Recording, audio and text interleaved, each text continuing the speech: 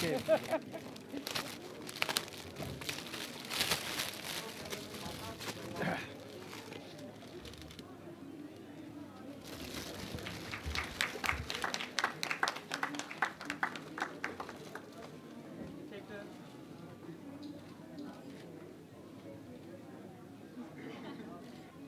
for the rest of them. For the rest of them. ये तो इनके लिए होती है हाँ, तो हम तो प्रोफेशनल इस मामले में हो चुके हैं।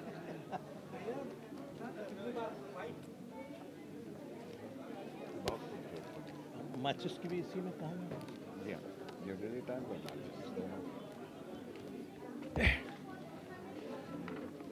रखिए गुलजार साहब और उमा जी मेहरा जी और हाजरीन जलसा। उमा जी से राजनीतिक तौर पर मेरा बहुत पुराना परिचय है और गुलजार जी से साहित्यिक तौर पर।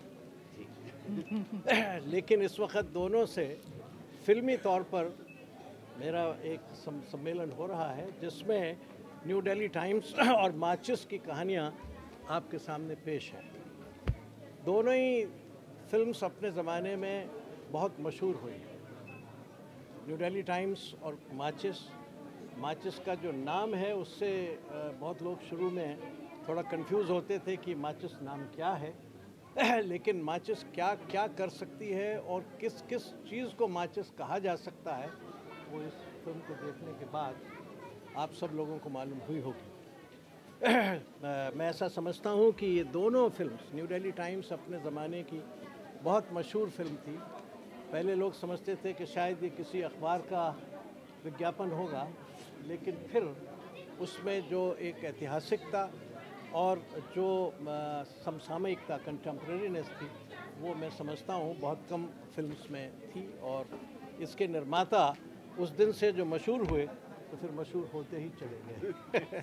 और गुलजार साहब ने जो माचिस दी, वो कुछ चीज़ों को जलाने के लिए थी, इसमें तो कोई शक नहीं, लेकिन वो वो चीज़ें थी जो मुल्क को जला रही ऐसी भी माचिस होती है कि जो जलाने वालों को जला देती है। ये इस फ़िल्म की तासीर थी। इस फ़िल्म का का बहुत बड़ा गुण था और, हालाँकि उस पर काफ़ी लोगों ने विचार विमर्श भी किया और कुछ दिनों तक उस पर समीक्षाएँ भी होती रहीं।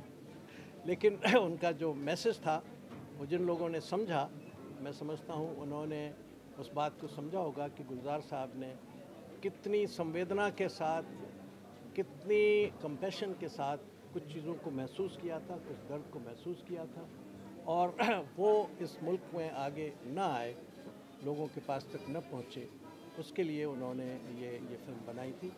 इसी तरह से न्यू दिल्ली टाइम्स ने जो एक ऐतिहासिकता हमारे सामने रखी, जो, और उसके साथ साथ जो कंटेम्प्रेरीनेस थी, वो इस फ़िल्म की बड़ी भारी तासीर थी कि इसने दोनों को मिलाया था।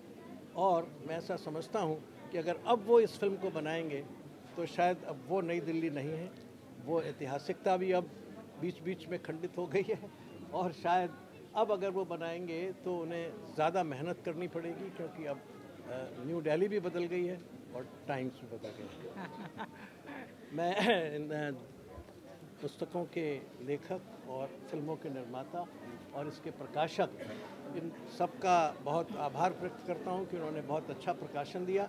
मुझे अफसोस है कि इसमें किसी अनुवादक को धन्यवाद देने के लिए और कोई व्यक्ति नहीं है।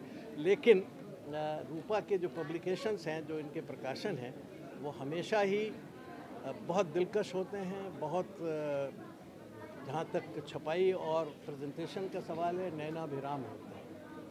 और इनकी जो प्रकाशन की विविधता है, जो डाइवर्सिटी है, वो भी अपने आप में कमाल है। और रूपा यथा नाम तथा गुण है क्योंकि उसके सौंदर्य के अनेक रूप हैं। और इसी तरह इनके प्रकाशनों के भी अनेक रूप हैं और इनके लेखकों के भी अनेक रूप हैं और इनके पाठकों के भी अनेक रूप हैं। मैं समझता हूँ कि ऐसी पुस्तकें और आएँगी और रूपा की तरफ़ से साहित्य के क्षेत्र में बहुत वृद्धि होगी।